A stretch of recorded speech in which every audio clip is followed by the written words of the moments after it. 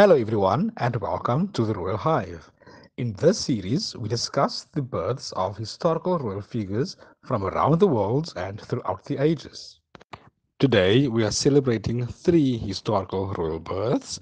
Our first celebrant being Emmanuel Philibert, Duke of Savoy, who was born in 1528 as the only child to parents Charles III, Duke of Savoy, and Beatrice of Portugal.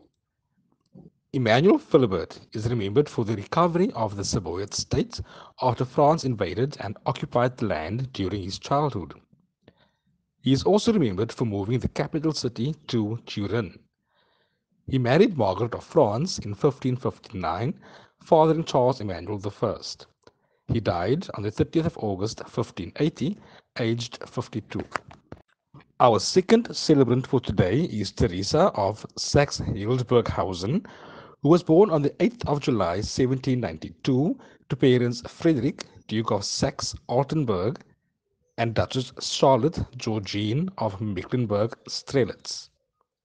On 12 October 1810, she married Crown Prince Ludwig of Bavaria, becoming Queen of Bavaria in 1825.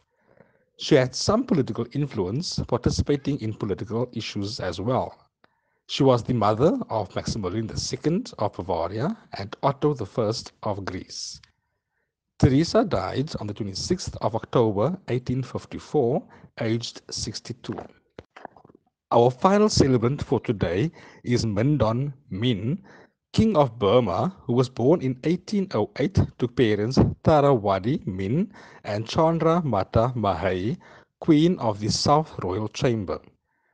Mindon's reign saw many reforms and achievements, such as the centralization of the kingdom's internal administration, introduction of a salary system for the bureaucracy, fixed judicial fees, comprehensive penal laws, and reorganization of the financial system, among many others. He died on the 1st of October 1878, aged 70. Thank you everyone for celebrating the births with him today. If you like this video and would like to see more, please like and subscribe.